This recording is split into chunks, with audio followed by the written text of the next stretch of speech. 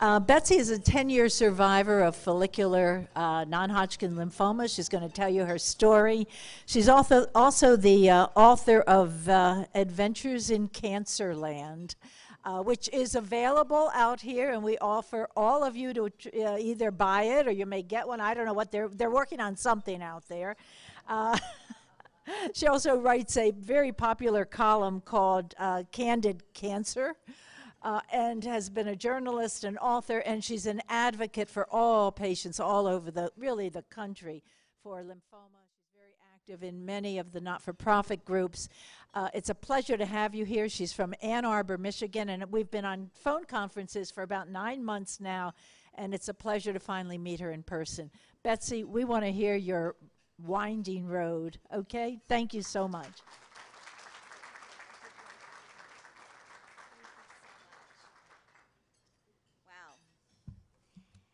know, as Dr. Gregory mentioned, we've been on phone calls for about nine months, and I can, I've seen about literally that much of what it took to plan this, and I can tell you that it took a whole lot of hard work.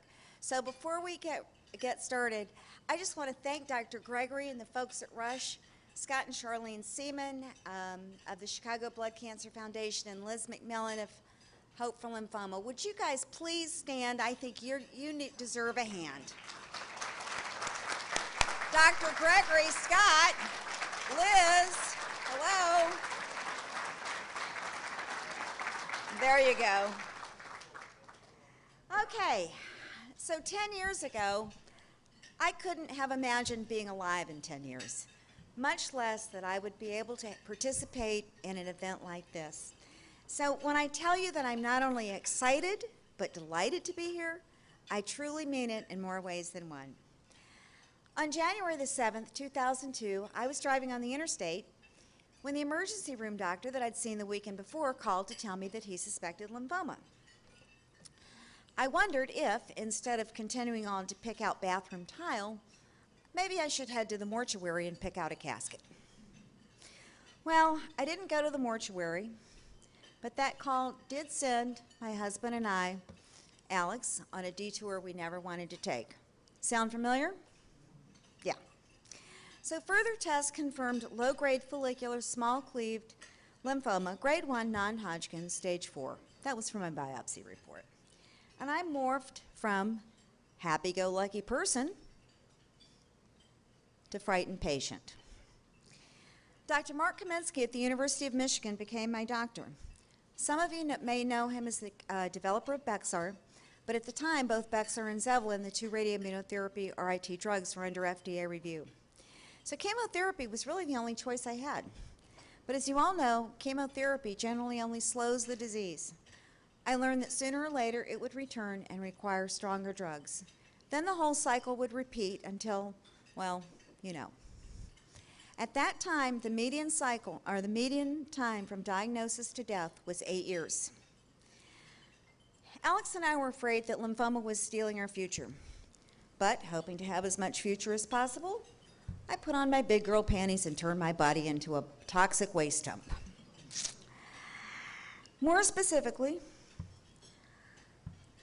I enrolled in a clinical trial which gave me an option that I wouldn't otherwise have had. And yes, that's a plug for, for clinical trials.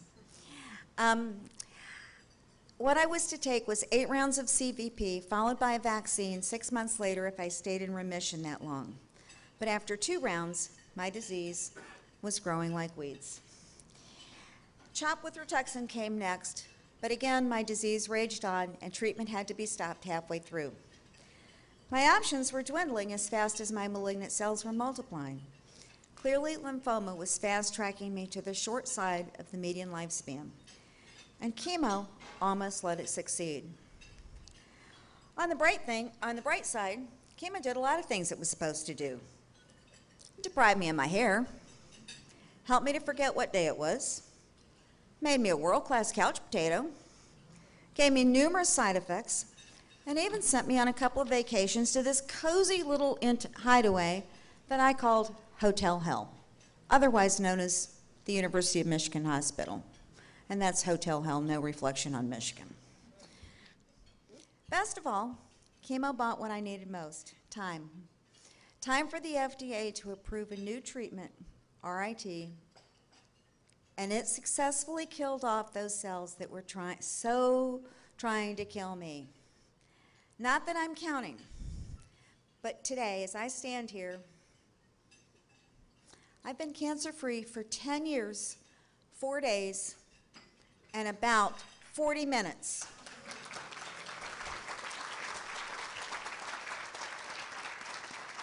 So much for incurable, huh?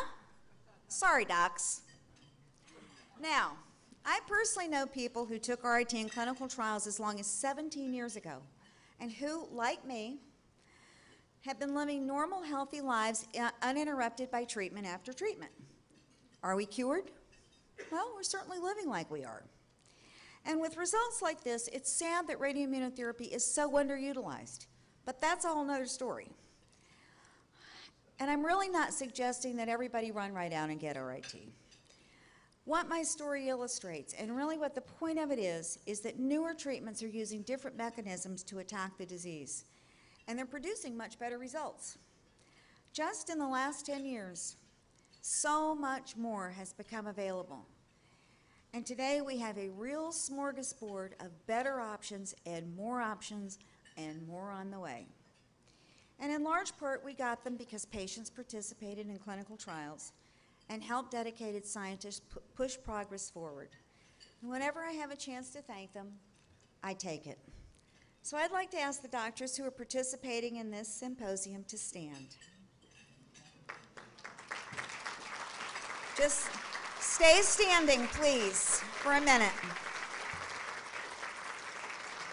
We're going to have to clap all over again. So, no, Dr. Rummel, stand up, please. Stand up. I have something to say.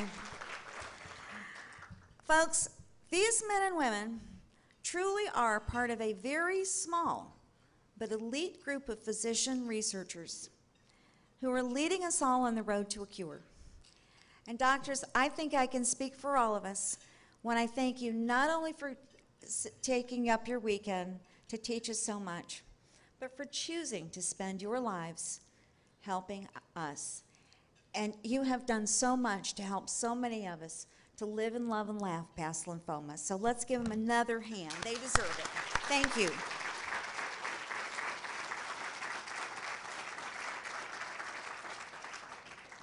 That chokes me up. But they really are. So, what happened after my last treatment? Well, I think we all know that cancer doesn't end with the last treatment. Hair grew back, side effects faded, energy returned. But just because there was no outward sign of illness didn't mean that I had recovered. On the contrary, illness lingered beneath the surface for months after treatment ended. For a very long time, I lived in limbo, trying to figure out how to live in the same body that had just tried to kill me. How could I trust it not to pull that same stunt again? I won't even ask if anybody has felt the same way. So, how do we adjust to all the changes that lymphoma brings into our lives? I can tell you from experience that adjusting to them once, adjusting to them once, it doesn't happen once and then it's over. It's an ongoing, ever changing process. But one thing is certain everything we experience becomes a part of our lives, and none of us can go back to our lives without lymphoma. But we can put the experience into the much broader picture of our lives and become what I call savvy survivors. And savvy survivors include not just those of us who have the disease, but also those of you who care for us, the angels among us. Okay? So, what's a savvy survivor?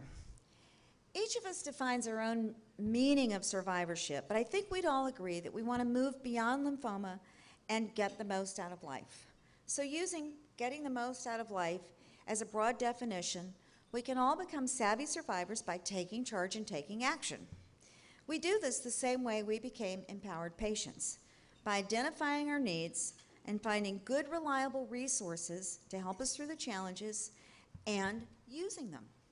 In other words, savvy survivors become capable and confident navigators through all the phases of survivorship. Now, of course, the road to survivorship is different for everyone, but we all encounter some bumps along the way.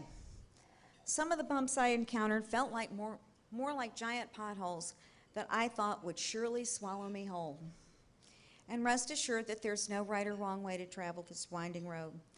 The only requirement to reaching our destination, to getting the most out of life, is that we keep moving, that we don't get stuck. We all have the skill set to do this because every one of us has encountered bumps in the road of life, and we figured out how to get over them. And there's no better time to apply this skill set than, when we're on the road to savvy survivorship. Now, one of the first things we all encounter is uncertainty. How do we adjust to the uncertainty that lymphoma thrusts into our lives? The simple truth is that the only certainty in life is uncertainty. Lymphoma doesn't thrust uncertainty into our lives, it simply exposes it. It reminds us that we can't always shape our own destinies, nor are we always in control of our own lives, much as we'd all like to believe. But knowing that, we can direct our energies to shaping what we can rather than worrying about what we can't control. For example, it's natural to worry about recurrence, but will worrying about it today stop it?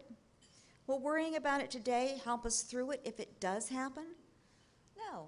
Fear of future, un- fear of future uncertainties does nothing more than rob us of present joys.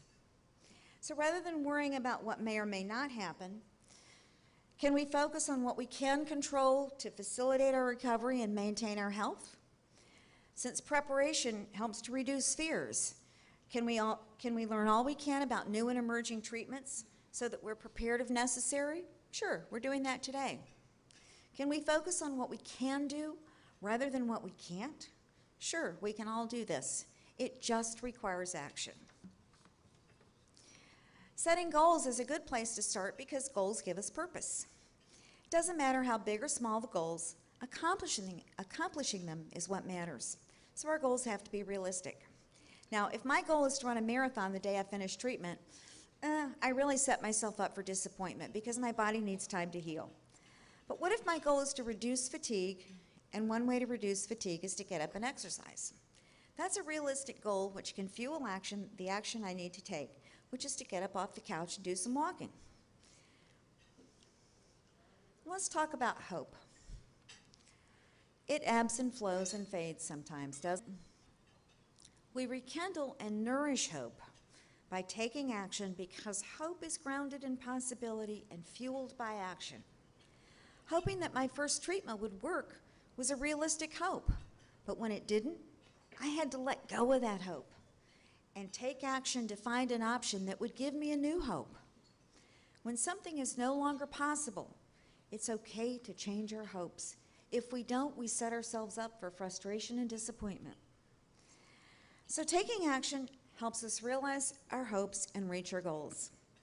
But are we sometimes too paralyzed by fear and worry to take action? I've been there. And I've got 10 years of having experience or experience of having pity parties. So if anybody is new to this and needs a pity party planner, I can help you later. Okay? Kidding aside, it is okay to have a pity party. It's okay to cry. Tears can be cleansing. And it's normal to feel strong emotions because the emotional impact of cancer is just as hard or harder than the physical impact. And we're bound to en- encounter stressors that trip us up and sometimes even push us flat on our faces. Getting up requires what? Oh, come on, this is interactive. Action? Have you guys not learned? Action, keep thinking. And what do we need? Stress busters. They might include yoga, meditation, guided imagery, listening to music, long walks, exercise, or doing something fun. Yes, it's still fun to cheer on our favorite teams, even if the only thing we can do otherwise is lie on the couch. Go blue. Sorry. Just seeing if you guys were paying attention. Although I personally prefer the, the term club camaraderie, support groups can be a great stress buster. For me, going to the club was like going to the doctor, only instead of getting infusions that heal my body, I got infusions from others who have walked this walk, and they calmed my fears and comforted my spirit. Now, my mother had a great stress buster. If I were feeling blue, she would tell me to turn myself inside out. Now, I couldn't get a slide for that, sorry. What she meant by that was when we shift our focus from ourselves to others, we have less time to think about our own problems. Believe me, I tested this theory a lot when I was sick. For example, sometimes I would literally drag myself out of bed or off the couch and into the kitchen and bake a cake for somebody just because I could picture the smile on their face when I saw it. And you know what? It seems like such a little simple thing, but it really did lift my spirits. Now, for all you dog lovers, equal time. Isn't laughter a powerful antidote to stress? Look around for humor every day. It's really all around us. Now, I know that taming fears and worries isn't always easy. It takes a conscious effort to push them aside, and sometimes just making the effort seems insurmountable. But isn't the price of giving up too high? So find what works to bust your stress and be willing to try new strategies because the more strategies we have, the better, because nothing works all the time. But sometimes we just can't overcome the stress by ourselves. At any step along the way, even the most glass half full people are susceptible to depression and anxiety, and that's when highly trained professionals can help. Unfortunately, there's still a stigma surrounding mental health, but I'd say to anyone who's reluctant to uh, getting professional help to think of it this way. We welcome anti-nausea or pain meds for the physical side effects of cancer. So when if we think about the emotional pain as a side effect, which it really is, then there's no more, no more shame, no more reason to be embarrassed about getting help for it than there is about getting help for pain or nausea. And there's no shame in admitting that coping with cancer is really hard because it is really hard. As a longtime survivor, I can assure you that eventually lymphoma won't be the first thing you think about in the morning or the last thing you think about at night. But from time to time, we're all going to bump up against some events that trigger some angst. For example, has anybody but me secretly rejoiced when a pain in your belly is really just gas and not a recurrence? Yeah.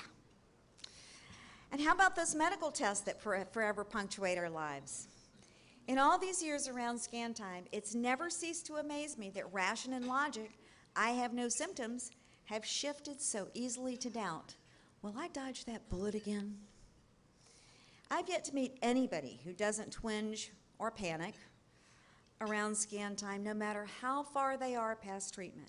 It's a perfectly normal reaction and so common that it's even acquired its own name, which is. Oh, come on, guys. Thank you, scanxiety. Okay, I'm to fess up to you guys. People look at me and they say, "Oh, you're 10 years out." You it's no. I have a confession to make. Not long ago, I had a real good case of scanxiety. And after all these years, yeah, I should know better. Statistically, the chance of recurrence is slim. But all the rational, logical thinking in the world didn't stop my mind from playing dirty tricks on me when a slight but constant pain in my side persisted for several weeks. My annual CAT scan was right around the corner, and while I was waiting, I got more and more nervous. I finally fessed up, took action um, to a group of other NHL survivors who came to my rescue and helped me to regain my perspective. When Dr. Kaminski reported the results, that is Dr. Kaminski, he exclaimed, You're perfect. To which I replied, I've been trying to tell Alex that all these years.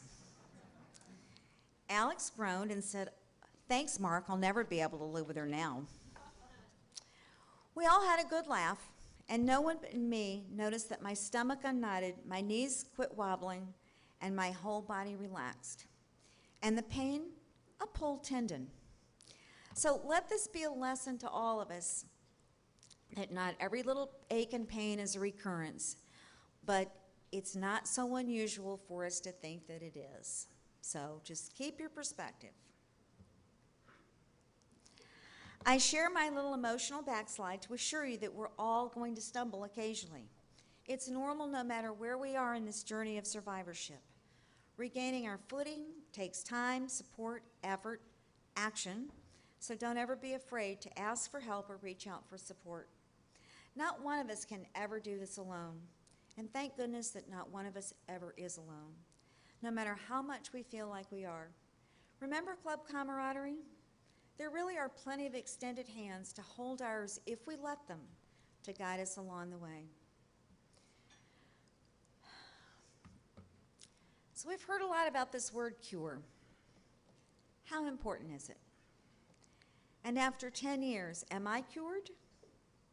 Well, somewhere around five years past treatment, I asked Dr. Kaminski if he could say that I was. But my medical status remained durable long term remission.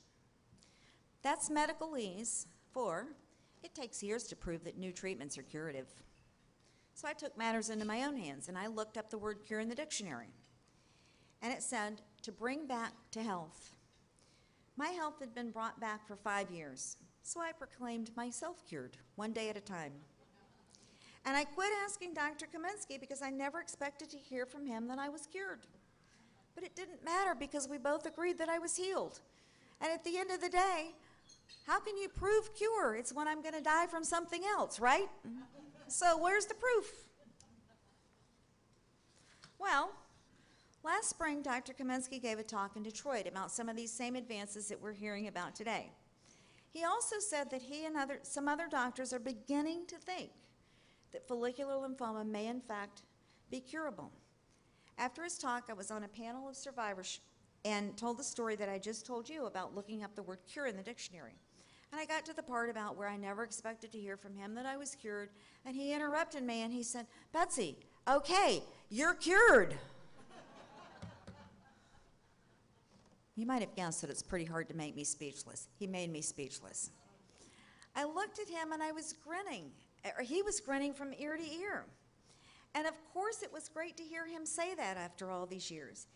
It shows that the whisper of cure for all of us is getting a little louder as these newer, better treatments prolong remissions and save more lives.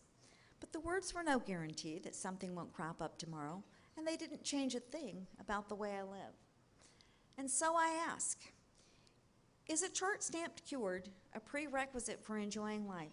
Of course not. Labels don't give us permission to go forth and make the most out of our lives. We give ourselves permission to use the resources and take the actions that will help us make the most of our own lives, no matter where we are in this journey. None of us would have chosen to have lymphoma, but we do have a choice about how we live with it. Making that choice isn't always the easiest path, but it's the path that leads to making the most out of life, to getting busy living. And take it from me, there is plenty of living, great living, with and beyond lymphoma. Thank you.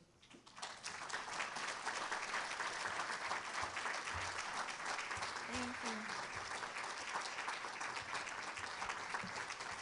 Thank you, Long. Thank you, Betsy. Stay there for a minute. Oh, it was wonderful. How many of you got a little teary eyes? Yes. I know which ones. We do it together in clinic, right? That was wonderful. Thank you. Does anyone have any questions or comments for Betsy? Because I have taken the liberty to um, ask Janine Gauthier to come forward and comment on some of the very important uh, points that were made by Betsy in how to deal with cancer. And Janine Gauthier is the psychologist, Dr. Janine Gauthier. Uh, I asked her to stand when they said doctor. She said no. Uh, who runs our integrated medicine program at Rush University. When Rush University Cancer Center came together, um, Janine, one of her biggest things was, please let me have my integrated medicine program right next to where you see the patients. Because if someone, if you say to someone you have a new diagnosis of cancer and they start crying, they need somebody now. And maybe the person next to them or maybe the doctor doesn't have the time to help them. And so Janine has so many times run into our clinic, and I know she's been extremely busy. She will drop everything and come in and spend a few moments with our newly diagnosed patient or our relapsed patient. And I'd just, Janine, like to introduce you and have you comment on some of what Betsy said. That's Welcome. great. Thank you. And then, take it from here. Go ahead. Well, what a wonderful and inspiring presentation by Betsy, and I don't think that I could do it any better. But um, as a clinical health psychologist, my training is really in how to keep people as healthy as possible, even in the face of an illness. And I, I think uh, many of Betsy's words um, fit so well with my own philosophy about how I work with individuals um, in kind of using those principles to look at how do we get individuals back into living even when they do have a, a life-limiting or life-threatening illness. Um, so many of her words about, you know, what are the resources out there, and many times I think there is a lot of stigma about seeing a psychologist. In fact, one of the radiation oncologist one time said to me, um, I tried to refer someone to you, but you've got to change the name of what you do. He said, when I said, we have someone in psychosocial oncology, he says, no, no, I'm not crazy. And I think it's so true. And so I think as the Cancer Center was coming together and, and, and one of the things we talked about was how do we comprehensively treat patients? So there is the medical aspect, which is critically, critically important, and we have amazing physicians here that know all of the cutting edge research that's going on medically to take care of the physical health of individuals. But how do we integrate not only that medical and physical health with kind of our emotional, psychological, spiritual health that makes us a whole person. And in fact, it was really very much um, their fourth, fourth thought with the Institute of Medicine's um, report in, I believe it was 2007, looking at cancer care for the whole person, meeting the psychosocial health needs of patients and families that are going through this, because it is really a family disease. You know, the individual that's diagnosed is going through all the treatments and having their own unique side effects from the treatment, but families and caregivers and loved ones are going through their own set of unique side effects from the treatments and from the process of going through uh, cancer treatment. So that's where we come into play. And so what we have is we have this integrative medicine program where we can take care of all of those needs, everything from acupuncture to yoga. Uh, we have providers right there in the cancer center that patients can have access to. So if it is dealing with some of the side effects of treatment, the acupuncture treatments or massage therapy, who hasn't had a massage that kind of walks away from that massage? And I think Betsy's kind of comment about multiple hands that make, you know, the lift that people up and i think massage is so incredibly beneficial because many times that touch is so important to kind of help people relax and um, looking at kind of that mind body connection there is a stress response and talking about the stress we're going to talk about that a little bit on the panel about how stress influences not only our physiology but also our emotional psychological self so we have that we have massage therapy we have nutritional counseling uh, there's more and more research coming out looking at nutrition. And in fact, there's actually now an organization that has been recently formed looking at uh, the nutrition aspect, and it's called um, the nutrition science. And so they're looking at food and what is really the role of nutrition and, and how do we absolutely prevent diseases through the use of nutrition. So I think it's critically important to look at all of the pieces that go into keeping us as healthy and getting back into living our lives. Um, so I- I, I took on the, when they came to me and said, we really want you to develop this, it was critically important. So we do have the ability that we are right there in the cancer center that, you know, when individuals hear that diagnosis, and it's so shocking at times to then deal with the uncertainty, you know, and, and I think that, that comment of, you know, the only thing that is certain is that there's going to be a lot of uncertainty, and how do we, you know, prepare for that and kind of say, okay, I can't control what's going on in the future. You know, uh, there was a a, a phrase that I will talk with patients about. You know, the past is history. We can't change it. The future is a mystery. I don't know what's going to happen. All I have is right now the present, and the present is a bit of a gift. So, how do we stay in the present? And there's a tremendous amount of research on being very present and kind of dealing with kind of being mindful in the moment. And how do you kind of allow yourself not to get so caught up in that. Um, certainly, the anxiety is going to be there. The scanxiety, I love that term. I think that is fabulous. The anxiety is always going to be there. And I, I tell people all the time I'm not here to take your anxiety away. I don't want to do that. Anxiety is protective. You know, there are times when we need that anxiety, um, and that's protective. And actually, the research would show that there are times when some stressors are actually helpful and can actually increase our immune response. There are some, some types of stressors in it that can do that. But what I want to do is help you to kind of identify is the level of anxiety I'm feeling right now appropriate for what's going on? And certainly in the face of any life limiting or life threatening illness, there's going to be anxiety, and so we don't want to necessarily get rid of that because I think as Betsy said, you know, gee, that pain in our side or in our back, you know, once you do have cancer, I think you do have to be much more vigilant about your health, and it is important. And so, how do we help individuals to deal with those realities that they're they're living with, but also be able to live their lives in the fullest way possible? So I think with that, one of the things we'd like to do before everybody goes back to um, the, the remaining of the, the remainder of the program uh, to help kind of people stay kind of awake now that you've had a morning full of and wonderful information. Now we've had lunch, and there's always kind of that post-lunch kind of like, oh, I want to go to sleep. I have it all the time at, at work. You know, you get through your morning, you have a little bite to eat, and then you have to go into your afternoon. So one of the things that I've found is some very wonderful yoga poses that are very, very simple that you do in your chair. And so, you know, when everybody hears yoga, I know a lot of things that go through people's minds is, oh my God, I can't twist like that. I can't go into those pretzel shapes. But actually, yoga is really more, uh, there's, there's a number of different yoga types. And actually, I've learned this as I've been working in the integrative medicine program. Um, there's certainly the, you know, very aggressive and very vigorous yoga um, wh- which is very physical. Uh, but there's also a restorative yoga, which I think for individuals who are dealing with illness can be incredibly beneficial. And even for some of us that work in the area, you know, ways to kind of restore ourselves. So these are things that you can do while you're sitting in your chair. The one thing to be very um, aware of and mindful of, though, is kind of your breathing. Your breathing is very important. Um, and we want to teach people to breathe in their bellies, kind of do that belly breathing. One of the things that happens, think about it when you're under some sort of stressor or something happens, we gasp or we hold our breath. We hold our breath till the next scan.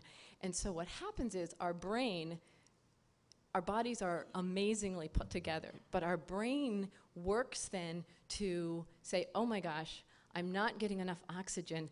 I need to jumpstart this system right now.